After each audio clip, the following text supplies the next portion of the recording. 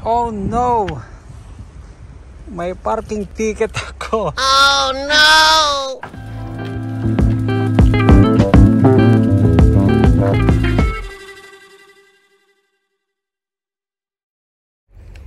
Hello mga ka-viewers, welcome back to my channel and this is Friday mga ka-viewers pagpunta ko dito ngayon sa aking uh, pinagparadahan ng sasakyan meron akong parking ticket, violation ticket so actually mali naman talaga yung napagparadahan ko.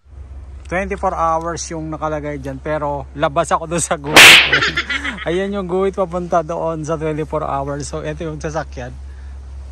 Ayan so wala siya doon sa 24 hours na guhit. So Ayan, meron akong ticket, violation ticket. So yun na nga, yun na, kagabi kasi late akong umuwi uh, galing sa work, uh, kami mag-asawa.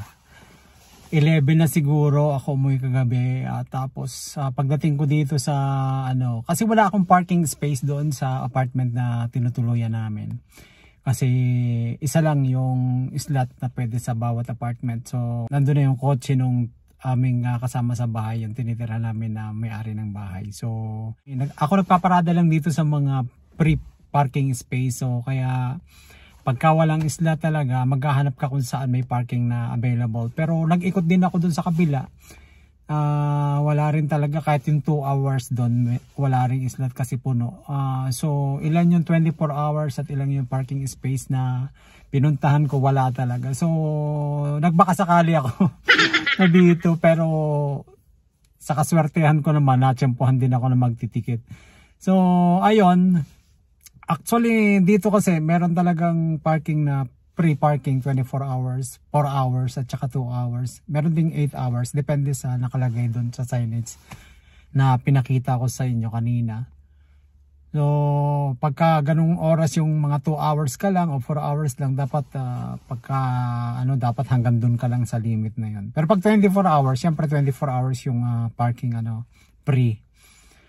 Ayan, uh, talagang ganun eh. Pagka mahirap pagka wala kang sariling parking and then yung mga katulad dito, free parking lang to pagka puno na, wala ka talagang mapaparadahan na ano na parking area. So maghahanap ka kung may makita ka, swerte mo kung wala. Magbabaka sakali ka. Actually, nahuli lang ako ng dating 7 uh, actually yung oras nito ay 7.08 ako dumating dito mga 7.15 yata so na-late na lang ako ng ilang ano na late lang ako ng ilang uh, minuto So hindi ko nang inabot yung magtitiket. Dapat hindi ako natikitan kung maaga akong dumating. So nalate lang ako ng ilang minuto. Ayun.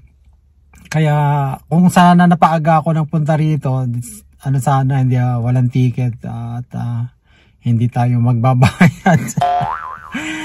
Ayan dito sa ESPO kasi pagka naka-commit ka ng violation na uh, ticket na ganito, 60 euros. Uh, 'di ba? Tumataginting 3,000 plus oh, peso no. sa Pilipinas. Pero dito 60 euros ang uh, presyo. Pagka sa city ka naman natikitan, sa city naman yung violation mo ng ganitong mga illegal parking o kaya parking near on the pedestrians, 80 euros yung uh, penalty mo. So, hindi naman kaagad-agad sa babayaran, meron siyang uh, ano, meron siyang due date. kung kailan mo siya, hanggang kailan mo siya pwedeng bayaran yan. So, yung violation na ganito, kailangan settle mo kasi pagka hindi mo binayaran, uh, notice na ng pulis yung darating sa'yo. Baka mamaya, kunin nila yung lisensya mo, o diba? Sayang naman yung pagkakataon. So, hindi ka makapag-drive pansamantala. So kaya ganun dito uh, talagang mahigpit sila sa mga ganitong uh, parking ano area, mga ganitong space or mga ganong violation. Kailangan talagang ano, sumunod.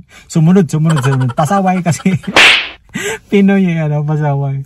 Actually, wala talaga akong choice kagabi kung hindi talagang uh, dito. Pero kung maaga lang akong dumating, maaga akong pumunta rito at na-adjust na alis ko dito, so wala tayong ticket. So ganun. So ayun mga ka-viewers, uh, isa lang ang paalala, talagang dapat sumunod sa batas, sumunod kung ano yung rules and regulation, wag tayong pasaway, ayan tuloy, magbabayad. But anyway, talo tayo ngayon maghapon, talo. Yung sa trinabaho natin ngayon, kung ilang oras yung trinabaho natin ngayon, sakto-sakto lang doon sa pambayad ko ng aking ano. Sakto lang sa pambayad ng ticket. So, but anyway, uh, that's life. Lesson learned talaga yan. Uh, ganun talaga dapat. So, dapat kung ano yung batas, kung ano yung pinasusunod at rules and regulation, dapat susundin. Kaya, yun. Yun lang isang paalala. Wag pasaway. Ayan, maraming maraming salamat mga viewers. God bless and uh, thank you so much po. At kung bago pa lang po kayo sa aking YouTube channel, huwag niyo kalimutan mag-subscribe and then hit yung notification bell para ma-notify po kayo sa mga susunod ko pang mga video. Good luck to me. 60 euros here coming. And uh, maraming maraming salamat po. God bless. Ingat kayo lagi. Huwag pasaway.